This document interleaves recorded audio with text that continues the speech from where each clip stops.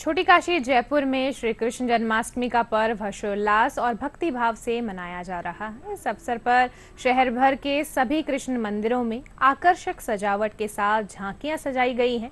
शहर के मानसरोवर स्थित इस्कॉन मंदिर में भी जन्माष्टमी के पर्व पर काफ़ी संख्या में श्रद्धालु भगवान के दर्शन करने पहुँच रहे हैं। ठाकुर जी को वृंदावन से तैयार करवाई गई रेशम के कपड़े की पोशाक धारण करवाई गई है। वहीं मलेशिया और सिंगापुर से मंगवाए गए फूलों से श्रृंगार किया गया है।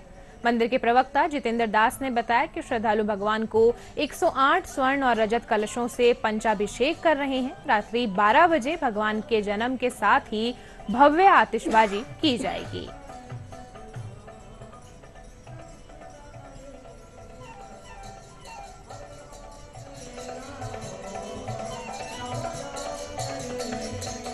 सुबह साढ़े चार बजे ठाकुर जी का मंगला आरती दर्शन हुआ था।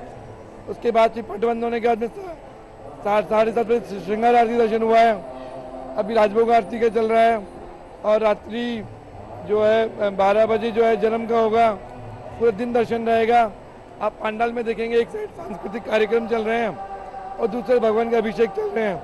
जो आमजन और जो इस जन्माष्टमी सहयोग करता है, उन सबकी तरफ़ से हो रहा है।